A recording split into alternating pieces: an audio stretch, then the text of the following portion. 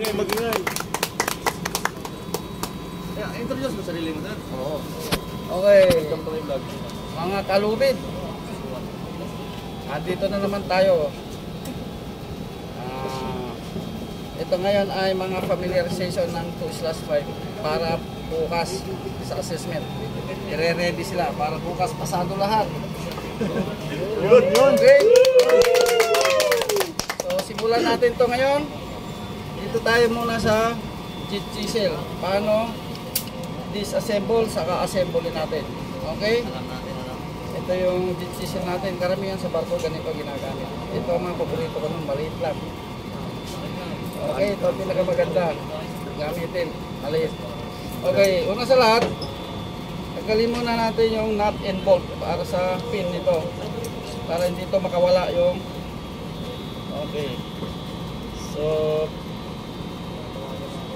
ayan, yung una natin tinanggal, yung bolt and nut niya pin para dito sa hex. Ito yung hex. Okay?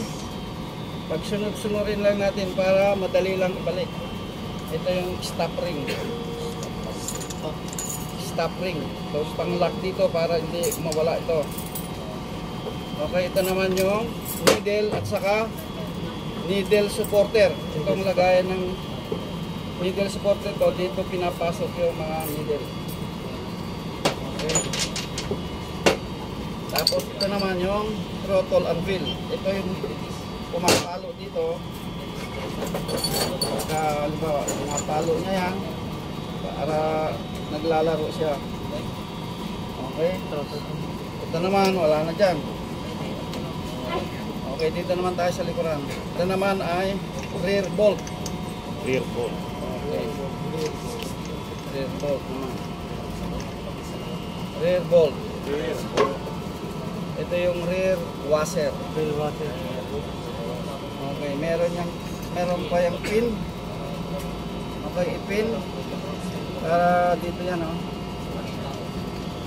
Guide. Ang purpose nitong pin na ito para hindi ito umiikot. Oh, kaya yan ang purpose niya. Kaya dito yan, sunod-sunurin natin. Okay, meron pa itong laman. Ito yung piston, ito yung pumapalo dito. Pinapalo niya yan para maglaro-laro siya. Okay, wala na yan. Ito yung cylinder. At ito naman yung housing. Ito naman yung front washer. Ito nilalagay ako. Okay? Shoutout muna kay ano, Jesse Ayusa. Jesse Ayusa. Follow mo lang kami dito para ma-update yung mga videos ko. Laging lagi kang mag-follow para ma lahat ng ano ng videos ko ma ma-update ka. Okay? So, ito naman yung housing. Ito yung throttle valve assembly. Isang buo yan. Kaya tinawag siya assembly. Throttle valve assembly. Yan yung titi niya. Sir. Pag ayan na nire-release yung hangin. Pagka finish mo yan, nagre-release yung hangin. No? Yes, sir. Tapos ganyan. Okay? Itong naman yung quick coupling release. Yes, sir. Release quick coupling. So, ito yung male. Male. Yes, sir. Ito naman yung female. Yes, sir. Okay? So, tapos na ang assembly, ang ano, ang dis dismantle. Ngayon, ibabalik naman natin. Unahin natin ito, cylinder, no? Kasama yung front washer. Yan. Okay, wag natin kalimutan itong pin. Bago natin ipasok yan, kailangan yung butas na dalawa kailangan pagtapatin yan para maipasok ito ulitin ko ang purpose nito para hindi kumalaw itong cylinder. Okay so itong piston. Piston. Okay itong rear bolt saka rear washer. Eh, kailangan to hawakan mong buti kailangan huwag gumalaw buma- bumaba. Kasi pag bumaba yan matatanggal yung pin.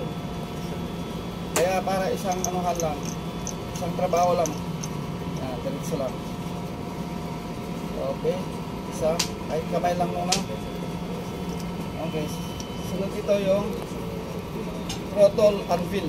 Ang dito. Laging naka ganyan. Okay, tapos naman ito yung needle saka needle supporter. Pasok mga ganyan. Tapos yung stop ring. Stop ring.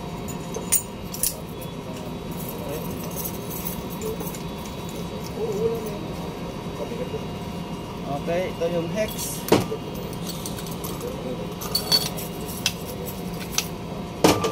Okay, yung lock niya. Para hindi matanggal yung hex.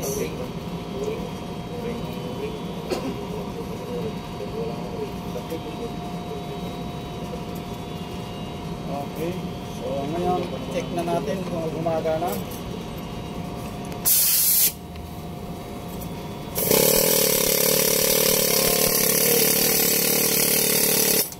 Done, my friend.